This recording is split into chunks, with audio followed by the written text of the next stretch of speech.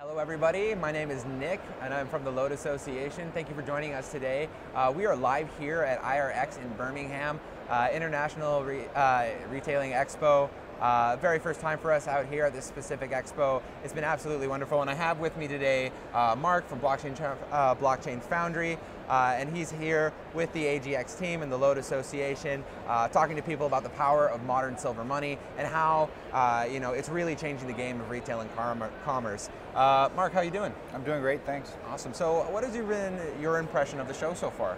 I think it's been great. Um, I think that education has been uh, the, the, the, key focus here for us. We've yeah. been uh, really trying to educate vendors because uh, everybody knows Bitcoin. Everybody yeah. knows price volatilities of Bitcoin. It crashed a little while ago, and we've been um, we've been recovering from that crash. Um, and and what we've been working towards is is creating a hedge against that that cra- that volatility. And we're really trying to educate merchants about uh, there's other options other than the bitcoins of the world that are highly volatile that will allow for them to to reap the rewards of accepting uh, cryptocurrencies. Absolutely, yeah, it's been awesome. You know, yesterday I was speaking on a panel, and it was aw- it was great to see such sincere levels of interest uh, from the audience about um, you know, how using stable coins and asset-backed coins like AGX Pay, which is pegged to silver, uh, can, can actually, uh, you know, benefit their business because uh, in addition to its stable nature comparatively to the volatility of Bitcoin, it also is completely free for them to use as merchants, right? So there's a lot of benefits to be had and a lot of knowledge to be learned.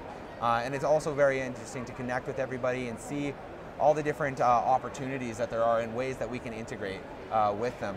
So, um, Mark, uh, out of curiosity, for you, uh, for you, what is what is your biggest takeaway from this uh, from the show? My biggest takeaway is that um, I think that we're on this uh, cusp of something. Uh, we're we're redefining what money is right now, and we're starting to build the we're starting to allow uh, merchants to have options, yeah. and and I think that they're starting to really become receptive and they're listening and they're uh, open, their, their, their minds are open to solutions. We're partnered here with Coin Payments. That's right. Coin Payments allows for the integration of uh, the cryptocurrency merchant service, like a payment gateway, um, to that easily integrates into the, their website, uh, much like their Visa, Mastercard payment portals within their websites, um, and which allows for them to take cryptocurrencies really easily, really quickly. It takes five minutes to set up, uh, and, and and I think that what we're seeing is we're seeing the start of something um, that really is defining a new version of what monetary systems can be.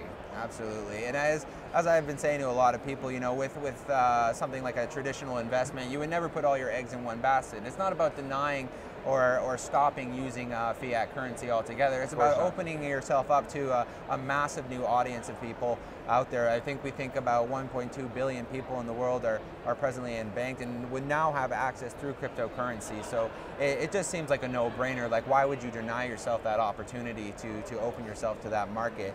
Um, now, you're also a part of Blockchain Foundry, as I mentioned before, and, and they deal heavily with the with the Syscoin asset. So you're kind of representing them here as well.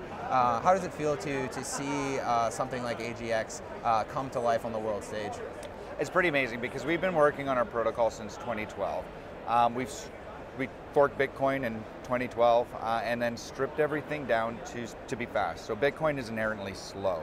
Yeah. It takes 15 minutes to settle a transaction. That doesn't work for point of sale. So what we did was we stripped it down.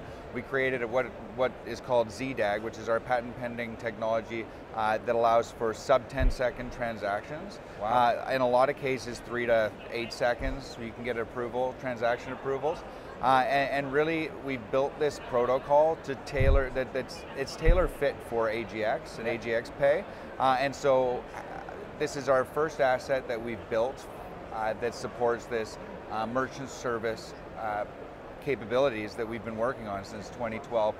it's AGX Pay is our marquee client, and we're really, really excited to see the adoption. And I'm personally taking ownership on on driving adoption and, and, and really um, trying to support the, the, the ecosystem to enable uh, digital silver to become a reality. Absolutely, and we're very grateful to have you. I think that's pretty much all the time that we have for today, but thank you for tuning in and, and joining us. If you'd like to learn more about the project, please go ahead to agxpay.com, or if you'd like to learn about the LODE Association, please go to lode.one to check out our project paper and learn more about the project.